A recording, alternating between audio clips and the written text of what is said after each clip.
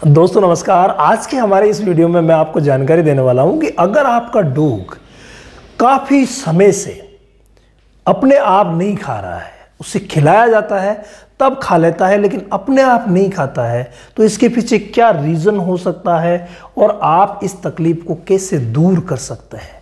देखिए, ऐसी ही समस्या हमारे ज्योतिर्मय भैरू जी ने बेहरास, माफ़ करना, नाम थोड़ा सा अटपटा लग रहा है।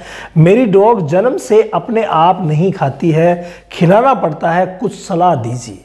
यानी कि जन्म से ही वो अपने आप नहीं खा रही है, उसे खिलाना पड़ता है। क्या किया जाए? देखिए, ये जो समस्या आपने भेजी है, ये समस्या उसकी आदत से रिलेटेड है।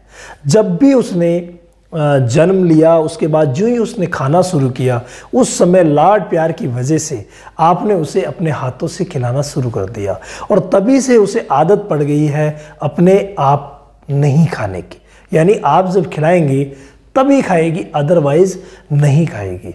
तो ये समस्या जो है, वो आदत की वजह से होती है और आदत को छुड़वाना भाई बड़ा मुश्किल होता है।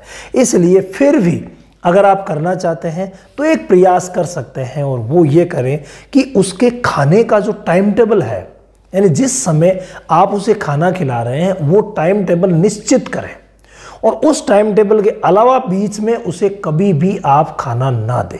जैसे तीन टाइम दे रहे हैं तो तीनों समय निश्चित कर लें। सुबह आठ बजे, दोपहर दो बजे, शाम को सात बजे। तो जो भी समय आप अपने हिसाब से डिसाइड कर लेना, मैंने यूँ ही बता दिए हैं।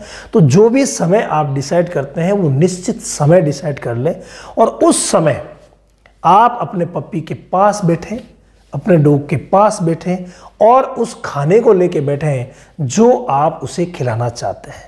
लेकिन अपने हाथ से मात्र एक बाइट खिलाएँगे, उसके बाद वहाँ आप बैठे ज़रूर रहेंगे, लेकिन अपने हाथ से खिलाएँगे नहीं। बस आप बैठे रहेंगे और उसे कहेंगे कि खा लिया जाए, खा लिया जाए, खा ले प्लीज़ खा ले। तो ये कुछ रिक्वेस्ट आप उससे करेंगे।